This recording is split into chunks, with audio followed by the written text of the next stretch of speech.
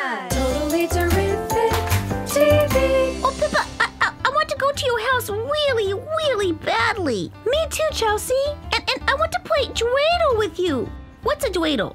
Oh, it's a little top that you spin to get points. Oh, I'm good at top spinning. Not as good as me, Pipsqueak. Hey! you are so funny, Skipper.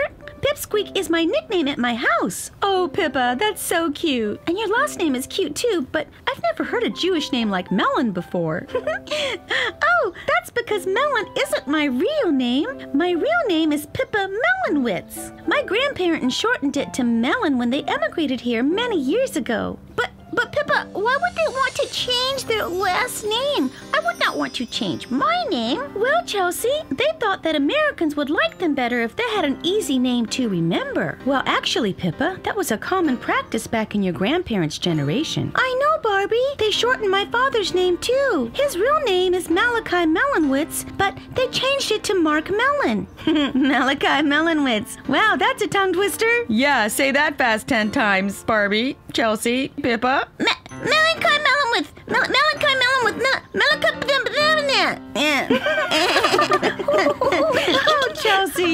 Too cute. Chelsea, you make me laugh. Hey, let's all go to my house. My mom texted me and said that we could all go over for candle lighting. It's almost sundown, so let's go. Ooh. Ah. Oh, wow. Oh, oh, my goodness. Oh, Oh, my goodness. Oh, it's so Oh, beautiful. So pretty. Yeah, Pippa, it looks like a giant candelabra. Yes, that's right, Stacie. And it's called a Hanukkah. Wow, Pippa, it's huge and amazing. Pippa, it's a fashion statement. Ha ha ha ha. hey guys, let's go inside the house and, and see the little Hanukkah. Ooh. Oh, goodness, Oh, it's so wow, it's pretty. amazing. It's beautiful, Pippa. Thank you, Barbie. I hope you're enjoying Barbie's adventures. Click the subscribe button to join Tina's totally terrific team.